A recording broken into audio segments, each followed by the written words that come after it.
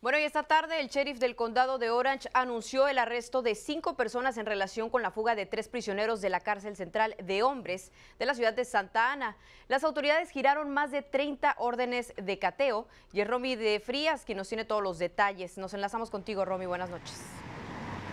Así es, efectivamente, muy buenas noches y las autoridades dejaron muy en claro que las redadas no pararán con los cinco que ya fueron arrestados. De hecho, en estos momentos están llevando a cabo un operativo con el fin de dar con los tres individuos que escaparon de esta prisión.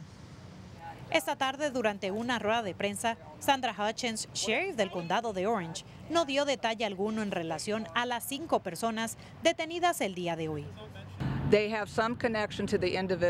Aunque sí dijo que tenían alguna conexión con los tres reclusos que escaparon el pasado viernes, algunos de ellos pertenecen a una pandilla vietnamita que opera en el área de Westminster y Garden Grove.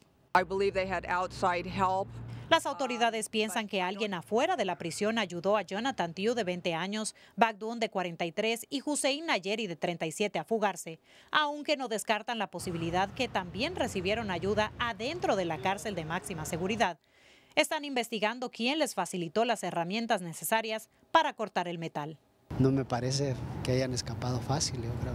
I do believe that he was most probably the mastermind behind this. Hutchins dijo um, creer que Nayeri, quien enfrenta cargos de secuestro y tortura, es el cerebro detrás del plan de escape basado en su entrenamiento militar. En solo tres días, las autoridades han ejecutado por lo menos 30 órdenes de cateo a casas y celulares, mientras miembros de la comunidad continúan atemorizados sin saber el paradero de estos tres peligrosos individuos. Las autoridades aseguran que están implementando cambios para que no vuelva a suceder. Siempre tenemos temor en, en cualquier lugar, siempre hay temor.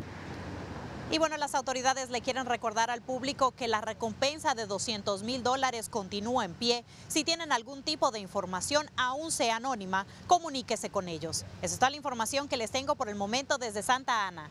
Romy de Frías, regreso con ustedes al estudio. Muy buenas noches.